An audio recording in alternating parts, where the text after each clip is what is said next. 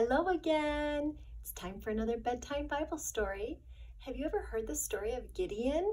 He loved God and was willing to do anything for him. So let's read together. Gideon wins the war.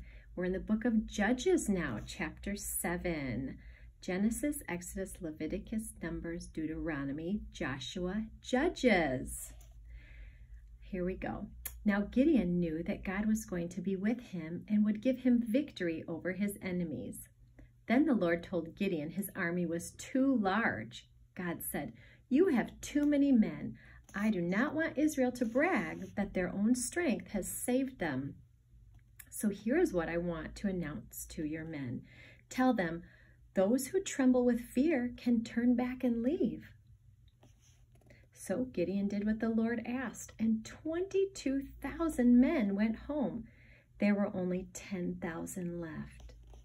Then the Lord spoke to Gideon again and said, There are still too many men, so take them down to the water. I will sort them out for you there. So once again, Gideon did what the Lord asked, and he took his men to the water. There the Lord spoke again and said, some men will drink the way dogs do. They will lap up the water with their tongues. Separate them from those who get down on their knees to drink. Gideon watched, and sure enough, some men got down on their knees to drink, and some cupped water in their hands and lapped it like a dog. The Lord then told Gideon to keep those who lapped the water in their hands and to send the rest home. When Gideon did what the Lord said, there were only 300 men left. These were the men who had not laid down their swords and shields to drink water. These were the men who stood watchful for any enemy who might appear while they were getting a drink. Gideon divided the 300 men into three groups. He gave each man a trumpet and a jar with a torch in it. Watch me, he told them. Do what I do. I'll go to the edge of the Midian camp.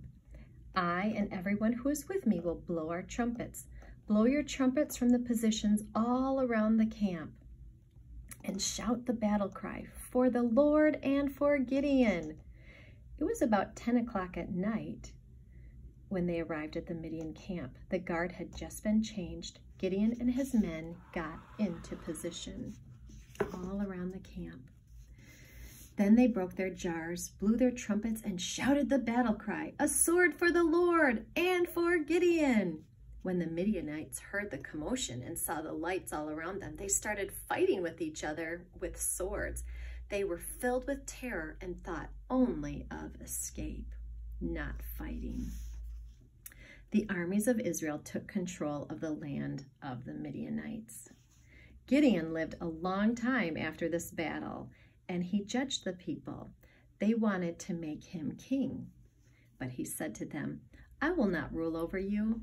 My son won't rule over you either. The Lord will rule over you. Aren't you glad that you're in the Lord's army, that you love Jesus, and you will do what he wants you to do? I'm so glad that you have chosen to love Jesus and follow and obey his laws. Let's pray. God, we love you so much. We thank you for these Bible stories where we can learn. We thank you that uh, you live in our hearts and that you give us um, the wisdom and the bravery to live the way you want us to live. God, if somebody has not asked you to be their Savior, I pray that you will work on their hearts and let them know that you love them and you want them to be your child. We love you so much. In Jesus' name, amen. Well, have a great night. I hope to see you tomorrow. I love you and God loves you more. Bye.